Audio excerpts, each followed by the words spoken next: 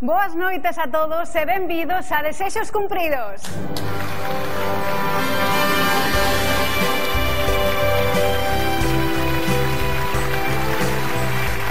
De novo vémonos neste programa no que soñamos con cumprir os vosas ilusións, con cumprir reencontros tamén famosos coa música e, sobre todo, persoas.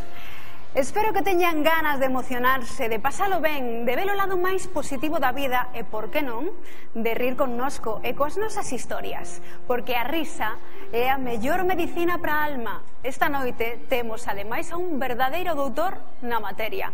Falo de Roberto Vilar. Roberto Vilar paz, mira como merece. Que che parece iso de ter sempre un sorriso na boca? Eh, a risa ten a cualidade, polo menos cando te ris non estás pensando noutras tonterías como pagar a hipoteca, eh, ir á misa todas esas cousas. Todas esas cousas. Por menos a risa ten a capacidade de suspender o pensamento. A risa bueno. como. Usted que dices que este chaval é sí. sempre que a sonrisa. E afronta todas as súas adversidades cunha sonrisa. Que, que, que aléjame, aléjame que o dices. Importante. Bueno.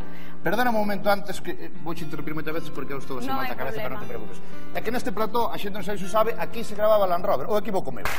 Bueno, aquí estou con Pepita e con Paco, eh? Eles Bueno, Hai xente a que Deus non lle deu dotes pa canción, como a min, eso amosarei, no? Pero algúns soñan con cantar diante de centos de persoas, de facer que o pasen ben, de conseguir que se emocionen coa súa voz. Ese é o desexo de Carlos San Pedro. Adiante, Carlos! Carlos! que claro, despois amosaremos todo o que fixestes que foi moi, moi, moi divertido. Sí. Penso que o máis divertido debe ser unha coreografía estupenda que montaron eles. Sí, sí, sí. logo verémolo, non? Pero podíamos así improvisada e repetila, sí, porque claro, penso claro. sinxela, non? Sí, Intentamos. un pouco. Sí, sí agora xa. Eu por mí sí. Arriba, música, Veña, entonces, non? Para, para, para, bere, bere, bere, para, para.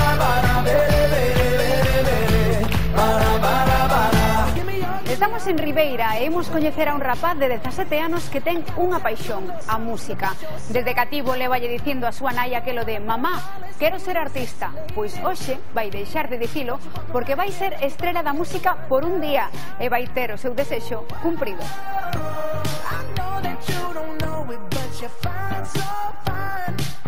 Find so fine.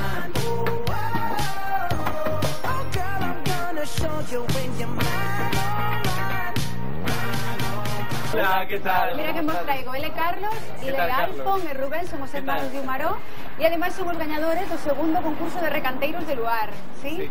Así que penso que teñen eles algo planeado para ti, ¿no? Moitas cousas. Ten que verse con nós, que hai moito que facer, o sea que...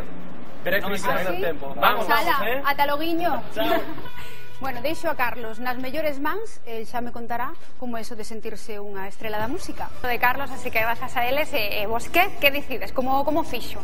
Pois a verdade é que o principal obxectivo que era sobre todo que o disfrutara, non? Porque sei a primeira vez. Temos a, a canción máis coñecida, non? Que, que, pero, a única. Pero tedes unha longa trayectoria detrás, non podemos a mellor... Longa. Sí, sí. Muy... Longuísima, longuísima, pero porque longa é de los, de los longos de toda a vida. De longa, ¿no? Los... Contarvos que vos creastes escola. ¿Mm? Sí, sí, sí, sí. Sí, a ver, a ver. Sí, porque hai unhas persoas agochadas aquí arriba as que lles chaman as Supremas de Coia, pero é un grupo que se chama Alegría XXL, adiante! como por exemplo a historia de Eduardo, é un rapaz que hai 18 anos pois, quedou tetra, tetrapléxico despois dun duro accidente, pero eso non lle quitou para nada as ganas de gozar da vida, de vivir e sobre todo tamén de escribir cousas preciosas por as persoas que o sacrificaron todo por el, como é a súa nai Sita. boas noites, Sita, aquí a temos, grazas por estar aquí. Gracias a vos. Bueno, a que pensas que viñeches a desexos cumpridos?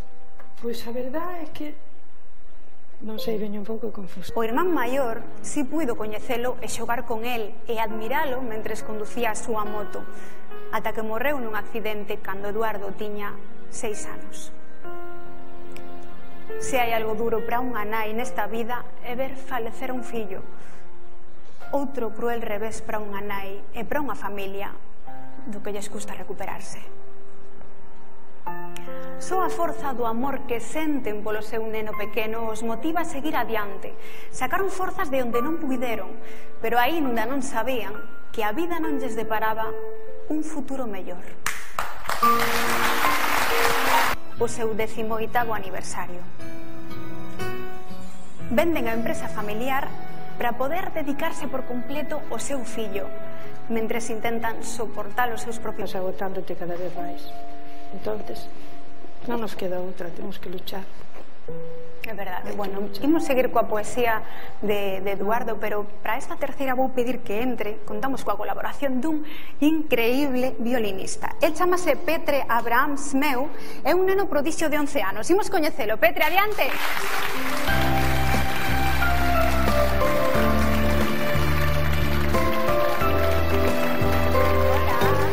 algo bo, mirar algo bo, sempre que eh, digo a moita xente que, que a mellor se queda na casa.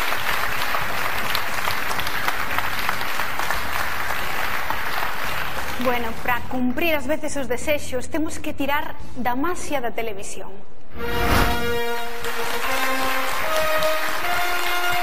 Bueno, xa está todo preparado, temos os convidados, temos o